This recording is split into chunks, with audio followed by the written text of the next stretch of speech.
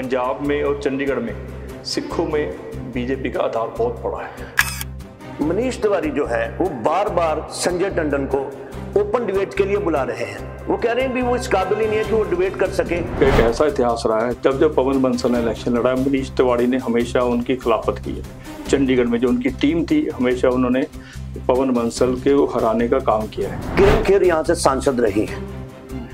तो आप एक कोई काम ऐसा बता सकते हैं जो चंडीगढ़ की डेवलपमेंट के लिए उन्होंने किया है? देखिए सड़कों पे जो उनका काम किया हुआ है। फिर दूसरा किरण खेर का मलकाना हक के लिए। चंडीगढ़ के हाउसिंग बोर्ड में मलकाना हक के लिए जो अपना रिहेबिलिटेशन कॉलोनी उनके लिए उन्होंने पूरा काम किया और आज पीछे सर नहीं पर मालिकाना हक पे तो उस पर तो कुछ हुआ ही नहीं अभी नमस्कार दोस्तों मैं हूँ राजेंद्र दत्त और आप देख रहे हैं अर्थ प्रकाश टीवी। दोस्तों जैसे जैसे मौसम का पारा बढ़ रहा है उसी तरह से सियासी सरगर्मियों का पारा भी दिन प्रतिदिन बढ़ रहा है। एक जून को चंडीगढ़ में चुनाव होने वाले हैं।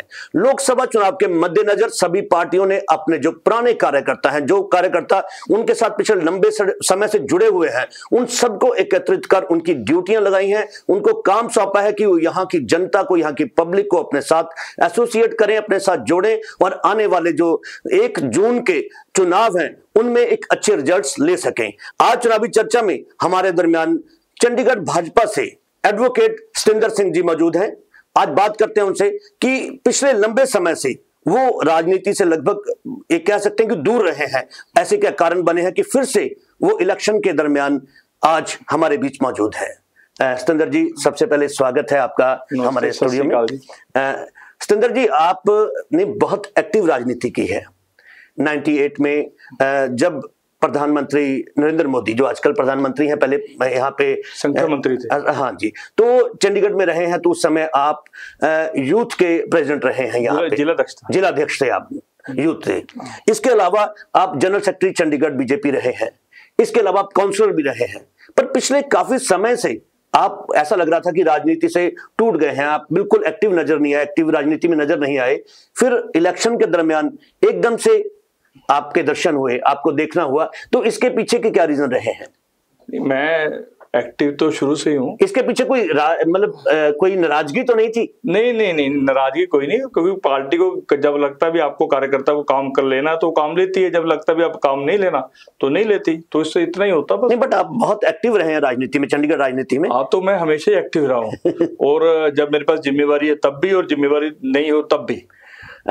इस बार जो चंडीगढ़ के समीकरण है, वो एक्चुअली होता क्या था? अब से पहले की अगर बात करें, मैं लगभग हर कैंडिडेट से यही बात पूछता हूँ कि इससे पहले भारतीय जनता पार्टी का गठजोड़ था अकाली दल के साथ। और कांग्रेस पार्टी और आम आदमी पार्टी अलग अलग चुनाव लड़ रहे थे। लेकिन इस समय चंडीगढ़ में आम आदमी पार्टी और कांग्रेस मिलकर चुनाव लड़ रहे हैं। भारतीय जनता पार्टी और अकाली दल का जो गठबंधन है, वो टूट गया है।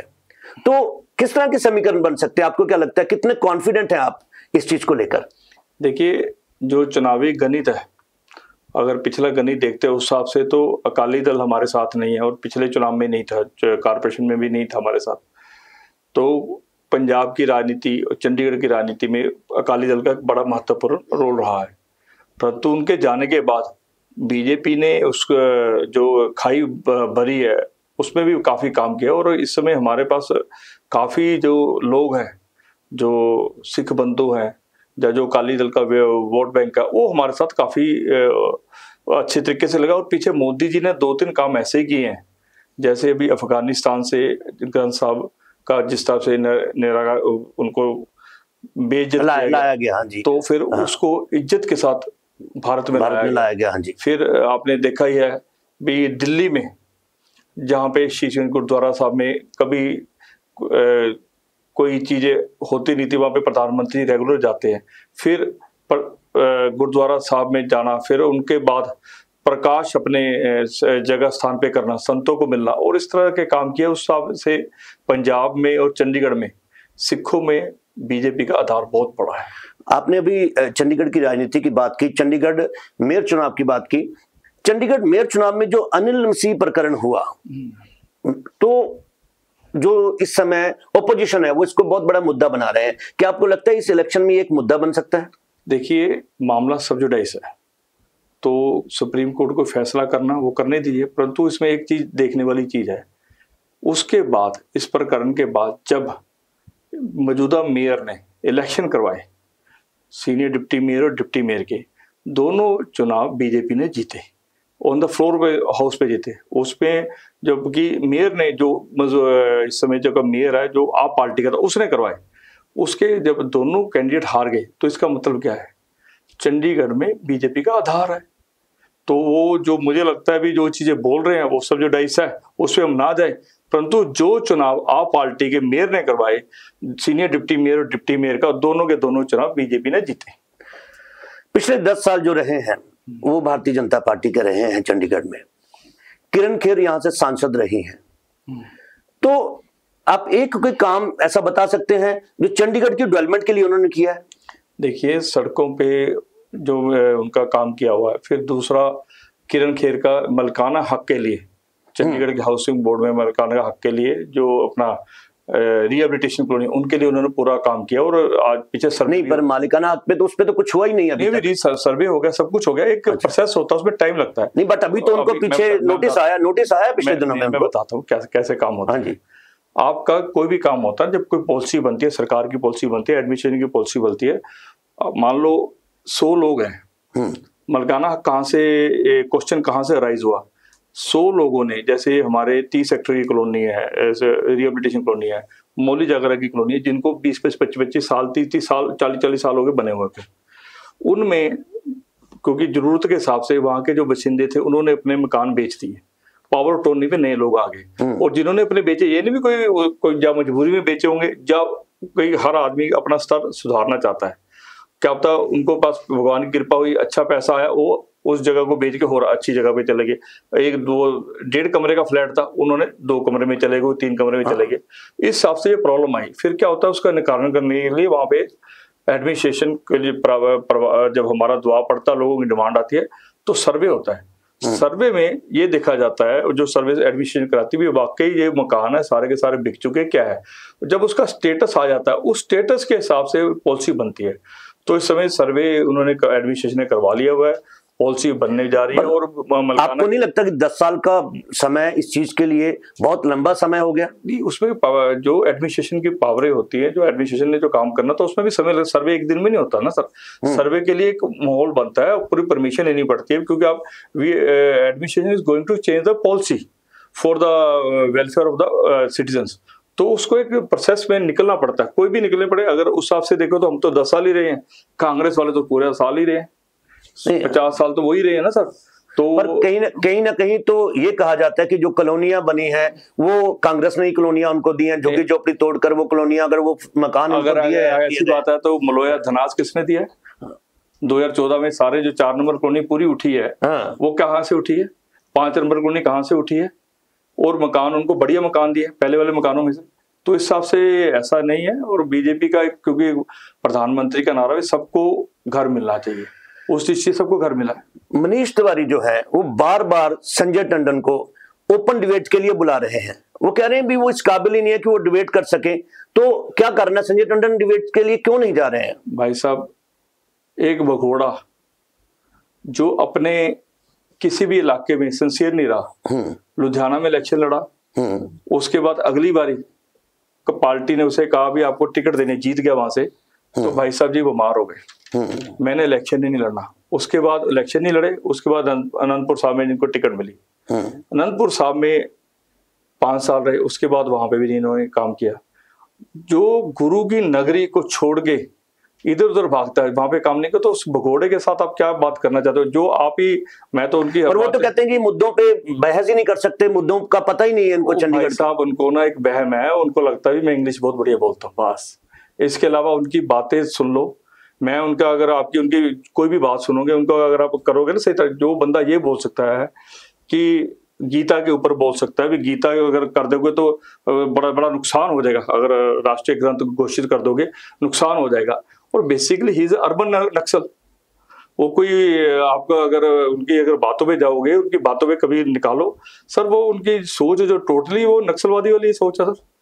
अच्छा चंडीगढ़ में जो मिनोरिटीज हैं जैसे मुस्लिम वोट है सत्तर हज़ार के आसपास या मुस्लिम वोट है क्रिश्चियन वोट है या माइनॉरिटीज के जो एस सी बी सी जो है वहाँ उनके वोट्स को आप कितना प्रतिशत वोट भाजपा कन्वर्ट कर रही है अपनी तरफ़ क्या लगता है इस समय जो क्रिश्चियंस में है हमारा अच्छा काम है हम्म।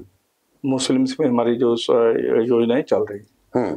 तो मुझे लगता भी उनका भी हमें प्यार मिलेगा। अभी पिछले दिनों में बड़ा एक मुद्दा चला था कि चंडीगढ़ में जो गाँव है चंडीगढ़ के आसपास जितने भी चंडीगढ़ के अंदर जो गाँव आते हैं यूटी के अंदर जो गाँव आते हैं वो सब एक उन्होंने सोसाइटी बनाई पिंड बचाओ सोसाइटी तो वो लोग कहीं ना कहीं कहते हैं हम विरोध करेंगे भारतीय जनता पार्टी का। तो आपको क्या लगता है कि उनको कुछ किसी हद तक मनाया जा रहा है या उनके साथ कोई रबता कायम किया जा रहा है? देखो पिंड बचाओ जो कमेटी है उसके भी कई पार्ट है। हम्म। कोई आप से चलती है कुछ बीजेपी से चलती है। हम्म। जो आप वाली पिंड बचाओ कमेटी है जिसमें उनके कार्यकर्ता वो नेचुरली वो बोल बात बोलते हैं।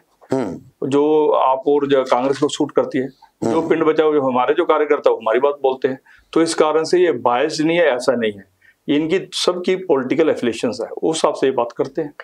अभी मनीष तिवारी ने एक बात कही कि संजय टंडन को कारपेटर के इलेक्शन लड़ने चाहिए उसको एमपी के इलेक्शन ही लड़ने चाहिए। तो क्या कैसे देखते हैं आप इस चीज़ को? देखिए ये बात मैंने जब पढ़ी थी तो मेरे को बड़ा दुख हुआ था। Because hmm. उसने कारपोरेटर को ललकारा है। हम मैं भी कारपोरेटर रहा हूँ। कारपोरेटर हम्म। इतने काम करता है। सुबह आप थ्री टायर सिस्टम है और सबसे बढ़िया बात है जो इनको कहते हैं एडवोकेट है मुझे तो लगता नहीं ये एडवोकेट भी हैं कि नहीं अमनीश तिवारी जी। ये जो उन्नीस सौ बानवे में जो सिस्टम लेके आए थे पंचायती राज, ये राजीव गांधी जी अपने समय में लेके आए थे और इन्होंने बड़ी इसकी खप डाली थी पंचायती राज लेके आए ये थ्री टायर सिस्टम बनाया था जब, उसमें आपका कारपोरेशन भी है, सर पंची भी है, सरपंची भी है और आपके एमएलए और एमपी भी है। आप हर दूसरे आदमी को कैसे, दूसरी संस्था को कैसे डीमीन कर सकते हो? डीमीन का जब मतलब कहता है कैसे उनको नीचा हम्म, दिखा सकते दिखा सकते हो हाँ। अब तो आप उनको कारपेटर को नीचा दिखाना और कारपेटर को उन्हें लगता भी देशभक्ति की भावना नहीं होती जहाँ देशभक्ति छोड़िए जो उन्होंने कहा भी राष्ट्रीय मुद्दों की समझ नहीं होती। तो राष्ट्रीय मुद्दों की हमें नहीं समझ होती क्या? हम राष्ट्रीय मुद्दों क्या हम अंतरराष्ट्रीय मुद्दे भी बात करते बेसिक पॉलिटिक्स है वो तो बेसिक पॉलिटिक्स है। और इनको ये नहीं पता हम्म। या ये करना नहीं चाहते सरदार पटेल हुआ था सरदार पटेल। हम्म। सरदार पटेल के कारपेटर नहीं रहे। सरदार पटेल क्या उन्होंने लीड नहीं किया? उसके बाद वो देश के गृह मंत्री बने। वो वैसे तो उन्होंने प्राइम मिनिस्टर बनना था, परंतु इनके गुरु जी ने, इनके जो जिनके जो मानते, जिनकी फैमिली में उनको नहीं बनने दिया प्रधानमंत्री, जो कांग्रेस के, नेहरू जी है, वो गांधी जी, उस समय क्या तो नहीं प्रधानमंत्री बने। बारह से लेके बारह वोटे विपक्ष, उनके मिलने के बाद, उन्नीस सौ में सरदार पटेल को मिलने के बाद, और नेहरू को कोई वोट नहीं मिली थी उसके बाद भी नहीं बने। अगर वो बन जाते तो आज देश की स्थिति बिगड़ी होती। सुधरी होती सॉरी सुधरी होती। अब इस हिसाब से काम कर रहे हैं तो आज हम कहाँ से कहाँ होते हैं? बिगड़ी हो रही है इनके कारण बिगड़ी है नेहरू फैमिली के कारण और आगे जो चल रहा है और जो जिसका प्रतिनिधित्व ये करते हैं। आप चंडीगढ़ राजनीति में बहुत एक्टिव रहे बड़े सक्रिय रहे हैं। आ, क्या रीजन है कि पिछले जो एक्स एमपी रहे हैं चाहे हम किरण खेर की बात करें या सत्यपाल जैन की बात करें वो नदारद है। नज़र ही नहीं आ रहे इस बार इलेक्शन में। देखिए जो जहाँ तक सत्यपाल जैन जी एमपी है वो एडिशनल सोलिसिटर जनरल है। हम्म। तो सरकारी पोस्ट पे हैं और उनका गवर्नमेंट के काम देखते हैं तो उस दृष्टि से वो अपना जो एक दायरे में रहकर के वो काम कर सकते हैं वो ही काम कर रहे हैं। पर एक उनका कैडर है उनके कुछ समर्थक है मुझे कहीं ना कहीं वो समर्थक भी नज़र नहीं आए वो कैडर भी नज़र नहीं आया मैं, मैं आपके सामने बैठा हूँ। जी। आप सत्यपाल जैन के कैडर से हैं? नहीं मैं सबको रखता हूँ सत्यपाल जैन जी से मैं मेरा बड़ा संबंध है और मैं ठीक है। उनकी इज़्ज़त किरण खेर जी सिर्फ़ नॉमिनेशन जिस दिन उन्होंने अपना फ़ाइल किया उस दिन नज़र आए उसके बाद किरण खेर जी भी नज़र नहीं आए उससे पहले भी नज़र नहीं आए। उनके स्वास्थ्य की दिक्कत भी रहती है ना। स्वास्थ्य की दिक्कत रहती है सर देखिए कहीं ना कहीं जो ये दिन होते हैं आपके इलेक्शंस वाले पुराने जो लीडर होते हैं उनका रोल बहुत अहम होता है। उनके एक्सपीरियंसेस होते हैं। तो वो बिल्कुल भी नज़र नहीं आए दोनों ही। नहीं नॉमिनेशन वाले दिन में मेरे साथ घंटा बैठे हाँ नॉमिनेशन वाले दिन वो नज़र आए हैं किरण बैठे रहे और अभी योगी जी आए हैं तो पूरा स्टेज पे आपने देखा होगा बैठे हाँ जी हाँ जी। जहाँ जहाँ पे हाँ वो बस जिस दिन नड्डा जी आए हैं उस दिन नज़र आए हैं या जिस दिन योगी जी आए हैं उस दिन नज़र आए हैं। उस दिन भाषण उन्होंने दिए दोनों टाइम दिए। जी जी जी। तो वो उनका जो उनका जो मार्गदर्शन है वो हमें मिलता रहता है। पार्टी के हमें जो भी हम रात को बैठते हैं कभी बैठते हैं तो पूरा मार्गदर्शन मिलता है उनका। आज सतेंद्र सिंह जी जो है दोबारा से एकदम से फिर से जो एक्टिव मुझे नज़र आए मेरी नज़र में जो मैं कहना चाहता हूँ फिर से नज़र आए हैं एक्टिव नज़र आए हैं। तो इस समय क्या रोल है पार्टी में आपका? चंडीगढ़ की राजनीति में इस समय क्या रोल है आपका? पार्टी ने क्या आपको जिम्मेवारी दी है? मेरे को भी जो इस समय इलेक्शन लड़ रहे हैं संजय जी और जो इस समय हमारे प्रदेश अध्यक्ष जितेंद्र मल्होत्रा जी ने मेरे को जो एक काम दिया अभी यहाँ पे जो कॉलोनियाँ हैं जो आउटर सेक्टर्स हैं आउटर सेक्टर्स के जो बाहर कॉलोनी है, उनमें थोड़ा सा जहाँ जहाँ मुझे लगता भी मेरे को काम करने की ज़रूरत है, वो वहाँ पे मैं लगने के कहा समीकरण जो है वो बड़े इस इस बार अलग तरह के हैं। आपके साथ, भारतीय जनता पार्टी के साथ हमेशा ही अकाली दल जो है गठजोड़ में रहा है। और कांग्रेस और अगर हम आम आदमी पार्टी की बात करें तो दोनों अलग अलग रहे हैं। इस बार वो दोनों इकट्ठे हो गए हैं। और आपका जो है अकाली दल से एक तरह से आप टूट गए हैं। तो वोट शेयर जो है, कहीं ना कहीं, देखिए, अकाली भी कुछ परसेंट तो है ही है यहाँ पे क्योंकि पंजाबी कम्युनिटी बहुत है तो अकाली दल को सपोर्ट करने वाले लोग भी हैं। तो वोट शेयर का जो फ़र्क है, वो आपको लगता है कितना फ़र्क पड़ेगा उस चीज़ का वोट शेयर का जो क्योंकि परसेंटेज तो कटेगी कटेगी, और ये लोग इकट्ठे हो जाएँगे। उसमें आपको राजनीति में जब हम इलेक्शन की बात करते हैं तो कभी कभी एक और एक दो नहीं होते, सर। कभी कभी उसमें बड़ा फ़र्क आता है जब हम एनालिसिस करते हैं और आप ऐसे आंकड़े आपको मिल भी जाएँगे। दूसरी बात है अकाली दल का अपने से अलग होने का जो आपने कहा है और आपका वहाँ पे जुड़ने का। आपको मैं थोड़ा सा बैकग्राउंड में ले चलता हूँ। यहाँ पे हरमोहन धवन जी हमेशा इलेक्शन लड़े हैं। हाँ बिल्कुल ठीक है। हमेशा इंडिपेंडेंट लड़े हैं कभी जनता पार्टी से लड़े हैं कभी किसी हाँ, वो अलग अलग पार्टियों से तो लड़े कभी आप पार्टी से भी लड़े हैं। पिछली बार जब आप पार्टी से लड़े थे तो उनको कुछ वोट्स मिली थी। बहुत कम तो बहुत कम वोट हाँ, मिले तेरह चौदह हज़ार वोट मिली थी। हम्म। तो आप अगर उसका हम बेस बना के चलते एक कारपोरेशन का बेस है तो इनकी वोट आपके सामने आ जाती है। और दूसरा क्या होता है इस समय जो हरमोहन धवन इस समय तो भगवान की कृपा से ऊपर चले गए हैं और जहाँ भी है उनकी आत्मा को शांति मिले। परंतु उनका बेटा और उनकी पत्नी जो दोनों काउंसलर भी रहे हैं और काफ़ी पोस्ट दोनों इस समय बीजेपी में आ चुके हैं। हाँ, भारतीय जनता पार्टी पिछले तो उनके आने से भी एक इफ़ेक्ट पड़ता है। फिर सुभाष चावला जी भी इस समय जो कांग्रेस इस समय तोड़फोड़ का उसमें चली है तो उसमें सुभाष चावला जी हमारे बीच में आ चुके हैं। उसके अलावा पवन बंसल जी क्योंकि आप एक मनीष तिवाड़ी का एक ऐसा इतिहास रहा है जब जब पवन बंसल ने इलेक्शन लड़ा मनीष तिवाड़ी ने हमेशा उनकी खिलाफत की है। चंडीगढ़ में जो उनकी टीम थी हमेशा उन्होंने पवन बंसल के हराने का काम किया है। तो इस कारण से पवन बंसल जी भी उनसे नाराज़ है। वो भी उनके कहीं ना कहीं उस चीज़ का भी फ़र्क पड़ेगा उनको। फ़र्क भी पड़ रहा है और क्योंकि जो किरदार है जो इनका किरदार है वो पार्टी वाले कांग्रेस वाले आपको अच्छी तरीके से बता सकते हैं। तो इस कारण से कांग्रेस भी इनके साथ नहीं है। तो वो चीज़ें जब हम पूरी कैलकुलेशन करते हैं तो आपको लगता हमें लगता भी we are on the better H पिछले दिनों एक बड़ा मुद्दा बहुत गर्म रहा है ईडब्ल्यूएस e के जो मकान थे रहे नीड बेसिस जो चेंजेस थे उसको लेके हाउसिंग बोर्ड का हाउसिंग बोर्ड का जो हम्म। रहा है तो उसमें पिछले दिनों एक मुद्दा रहा है कि नीड बेसिस चेंजेस जो थे उसको लेके प्रॉब्लम रही है उनको तोड़ने के ऑर्डर भी आ गए थे।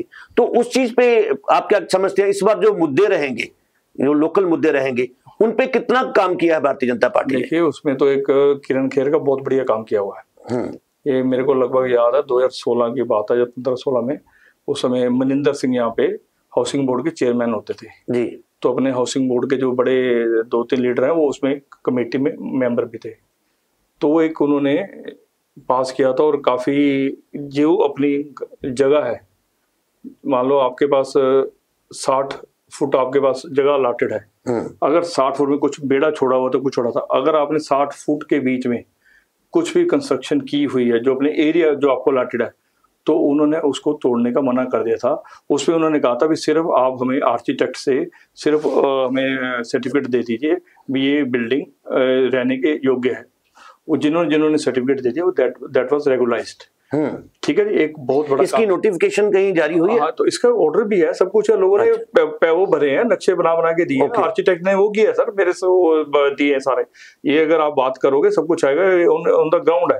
ये क्योंकि मुझे इस करके याद है क्योंकि जितने भी दैट टाइम छोटे ग्रुप से छोटी पार्टियाँ जो है आज की डेट में सबसे बड़ा मुद्दा यही लेके चल रही है। जो नीट बेस का है वो अब वन टाइम वो सेटलमेंट मांग रहे हैं। वन टाइम सेटलमेंट है वो on the basis of Delhi pattern Delhi हाँ, दिल्ली दिल्ली में जैसे एनसीआर हाँ, और दिल्ली दिल्ली में जब बीजेपी गवर्नमेंट ने जो हम्म। जिस हिसाब से वो वन टाइम सेटलमेंट की थी वो उस हिसाब से किया। और इस समय जो सरकार बनने वाली है वो मोदी जी की सरकार बनने वाली है। और बीजेपी भी मानती है भी उनको वन सेटल दिल्ली पैटर्न पे वन टाइम सेटलमेंट उनकी होगी।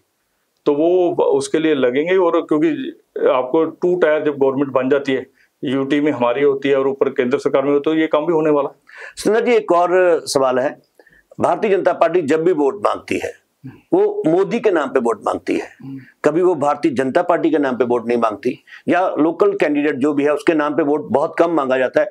अक्सर मोदी के नाम पे वोट मांगा जाता है। इसके पीछे के रीजन क्या? क्या बाकी लीडरों की वैल्यूज़ कुछ भी नहीं है?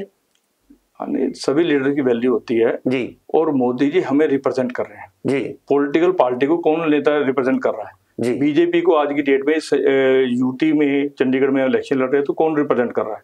As a MP Sanjay Tandon. Sanjay Tandon. तो हम संजय टंडन की बात करते थे लोकल लेवल पे जब राष्ट्रीय लेवल पे हमें कौन रिप्रेजेंट कर रहे हैं? मोदी जी।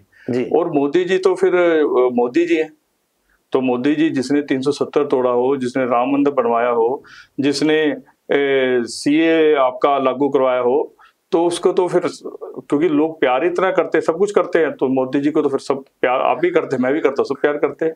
तो मोदी जी का तो सारा फ़ैन भी है मोदी जी के लिए हम काम भी करते हैं मोदी जी की बात आती है तो स्वच्छ भारत अभियान की बात चलती है।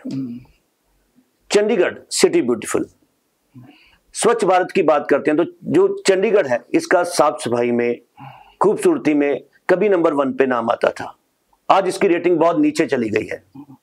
जबकि पिछले दस साल से यहाँ भारतीय जनता पार्टी रही है तो इसके पीछे के कारण क्या रह सकते हैं? अब आपने सवाल बहुत अच्छा पूछा हम्म। आज की डेट में आप कह रहे हैं भी इतना नंबर है इतना नंबर है। हाँ। जब रेटिंग शुरू हुई थी ना उस समय के आप कांग्रेस के बयान निकाल के देखो। हम्म। भी ये रेटिंग करना देश में बड़ा गलत काम है। ये रेटिंग नहीं करनी चाहिए वो नहीं करनी चाहिए हम वैसे ही वो है नंबर वन पे है वो है फ्रंट वन है तो आज की डेट में क्या हुआ? आज पूरे देश में मोदी जी ने जब रेटिंग शुरू की, सभी जगह ने अपना अपना काम करना शुरू कर दिया। जो जो शहर लगे हुए थे, उन्होंने अपने सीवरेज सुधारने शुरू कर दिए, सफ़ाई भी, अगर जब आपको जो नंबर वन मिलता है ना तो नंबर वन इस करके नहीं मिलता भी सिर्फ़ आप देखने में अच्छे हैं। शहर देखने में अच्छा उससे नंबर वन नहीं मिलता। आपकी सीवरेज फैसिलिटी कैसी है? आपकी पानी की फैसिलिटी कैसी है? आपकी इलेक्ट्रिसिटी की फैसिलिटी क्या कैसी है? और आपका जो व्हीकल रखने की स्थिति उसमें पैरामीटर बने हुए कई हम्म, हम्म। और आप वे वहाँ पे पेड़ों की स्थिति क्या है? वहाँ पे आपका बहुत इन्वायरमेंट का जैसे तो उस तरह से कई चीज़ें बनी होती है। तो उसमें कई शहरों ने बहुत एक्स्ट्रा ऑर्डनरी काम किया है। जब एक्स्ट्रा ऑर्डनरी काम करते हैं, इंदौर की बात करते हैं तो इंदौर आज नंबर वन पे पहुँच गया। उसके उन्होंने काम किया, सब कुछ किया। उस कंपटीशन में लगे हैं। कभी हम उस कंपटीशन में जीतते हैं, उस कभी हारते हैं। पर फिर आप कहोगे, मोदी जी का नाम क्यों लेते हैं कि मोदी जी ने परंपरा शुरू की है, मोदी जी ने नंबर दिए है। और अब हम तो ये तो कह नहीं सकते मोदी जी हमें नंबर जान के कम दिए हैं।